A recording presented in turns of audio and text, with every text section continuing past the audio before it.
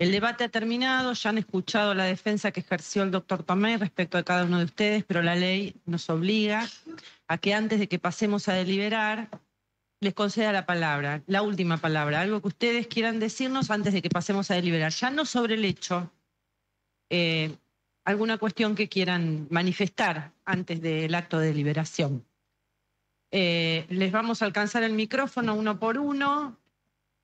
El que se pone de pie, a cada uno a su turno, y lo que quieran decir, si quieren pueden no decir nada.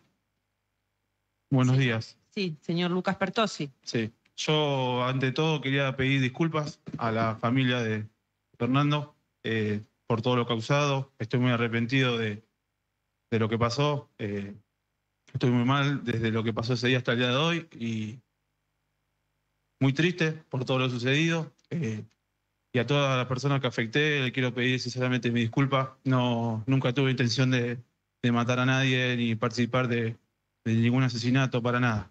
Eh, quiero decir eh, gracias por este momento, por escucharme y no tengo nada para decir. Gracias, señor. Blasinali. Buenos días. Quiero pedir disculpas a todas las personas afectadas con lo que pasó. Eh, es algo que duele muchísimo hasta el día de hoy y es muy triste, en realidad. Eh, nada, no hubo ningún plan ni nada de lo que se dice. Gracias por escucharme. Gracias. Matías Benicelli. Bueno, primero que nada, quiero pedir perdón a la familia de Fernando, porque nunca quise que esto pasara, nunca tuve ningún plan, ninguna intención de matar a nadie. Todos los días lo pienso, todos los días estoy arrepentido de lo que pasó. Ojalá pudiera volver el tiempo atrás, pero ya no se puede. Pero quiero dejar en claro que nunca quise matar a nadie. Gracias. Ciro Pertosi. Buenas tardes. No, quería decir que estoy muy arrepentido que de todo lo que pasó, de por favor que me pedirle perdón a la familia por haber estado en el lugar, haber estado en una pelea donde falleció un chico de nuestra edad. Es muy feo. Es- nunca voy a que- querer matar a nadie. Es algo que a mí me afecta mucho. No, no. Pedirle perdón. Si murió alguien de nuestra edad, es muy feo, pero es muy feo lo que nos acusan tampoco. Listo. Gracias. Ayrton Violás. Hola, muy buenos días. Quiero pedirle perdón a la familia de Fernando. Jamás pensé que iba a pasar algo así. Estoy muy arrepentido de todo. Muchas gracias por este espacio que me están dando. Que Dios lo bendiga. Máximo Thompson. Bueno, primero que nada quería pedir disculpas a la familia y a todas las personas que fueron afectadas. Jamás hubiese pensado que algo así podría llegar a pasar. Me lastima muchísimo porque murió un chico de nuestra edad y jamás tuvimos intención de algo así. Quiero pedir disculpas, sé que a veces las disculpas no alcanzan, pero ojalá pudiésemos volver el tiempo atrás y revertir todo esto. Pero no, no lo podemos hacer y no nos queda otra que pedir disculpas.